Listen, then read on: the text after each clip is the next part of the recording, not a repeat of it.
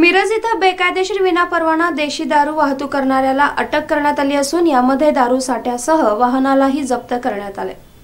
मिरज शहर डीबी पथकानं मिळालेल्या माहितीनुसार इंदिरानगर रस्त्यावर सापळा रचला होता. यावेळी पांढऱ्या ओक्सवोगन गाडी आल्यानंतर पोलिसांनी गाडीची झडती घेतली असता गाडीमध्ये संत्रा टँगो पंच नावाच्या दारूंचा साठा आढळून आला. एकवीस हजार रुपये किमतीचे सात बॉक्स संत्रा आणि टांगो पंच नावाची देशी दारू पकडण्यात आले आहे. या प्रकरणी अमोल दुर्गापा रणधीर वयवर्ष तीस इंदिरानगर म्हाडा कॉलनी मिरज याला पथकानं अटक केली आहे.